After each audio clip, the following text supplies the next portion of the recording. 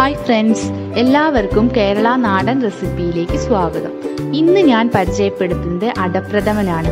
ഇത് നല്ല ടേസ്റ്റി ആയ റെസിപ്പിയാണ് അതിനു മുൻപായി നിങ്ങൾ ആദ്യമായാണ് എന്റെ യൂട്യൂബ് ചാനൽ കാണുന്നതെങ്കിൽ ചാനൽ സബ്സ്ക്രൈബ് ചെയ്യുവാൻ മറക്കല്ലേ? കൂടെ ലൈക്കും ഷെയറും ചെയ്യണേ. ഇനി നമുക്ക് ഇത് എങ്ങനെയാണ് തയ്യാറാക്കുന്നത് നോക്കാം. ഞാൻ ഇവിടെ എടുത്തിരിക്കുന്നത് ഇരുന്നൂറ്റി ഗ്രാം അടയാണ്. ഇത് നല്ല പോലെ കഴുകി വൃത്തിയാക്കി എടുത്തിട്ടുണ്ട്. അടുത്തതായി നല്ല തിളച്ച വെള്ളത്തിൽ അട ഇട്ട് കൊടുത്ത് തീ ഓഫ് ചെയ്ത് അരമണിക്കൂർ മൂടി വെച്ച് വേവിച്ചെടുക്കേണ്ടതാണ്.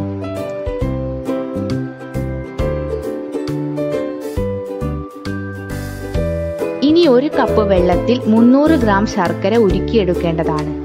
നല്ല കളറുള്ള ശർക്കരയാണെങ്കിൽ പായസത്തിന് നല്ല ഡാർക്ക് കളർ കിട്ടുന്നതാണ്. ഉരുക്കിയെടുത്ത ശർക്കര അരിച്ച് മറ്റൊരു പാത്രത്തിലേക്ക് മാറ്റാം. ഇത് തിളച്ചു വരുമ്പോൾ ഇതിലേക്ക് നേരത്തെ തിളച്ച വെള്ളത്തിൽ ഇട്ട അട അരിച്ച് ചേർത്ത് കൊടുക്കാം. ഇത് നല്ല പോലെ ഇളക്കി മിക്സ് ആക്കി എടുക്കേണ്ടതാണ്. അടുത്തതായി തിളച്ചു വരുമ്പോൾ ഇതിലേക്ക് മൂന്നാം പാൽ ചേർത്ത് കൊടുക്കാം. ഇത് നല്ല പോലെ ഇളക്കി കുറുക്കിയെടുക്കേണ്ടതാണ്.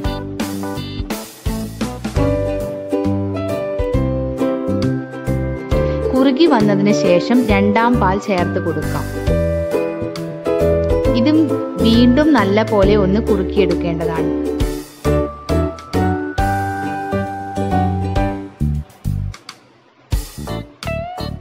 കുറുകി വന്നതിന് ശേഷം നമുക്ക് ഇതിലേക്ക് ഒന്നാം പാൽ ചേർത്ത് കൊടുക്കാം. കൂടെ ഏലക്ക പഞ്ചസാര പൊടി രണ്ട് ടേബിൾ സ്പൂണും ചുക്ക് പൊടി ഒരു ടീസ്പൂണും ചേർത്ത് നല്ല പോലെ ഇളക്കി കൊടുക്കണം.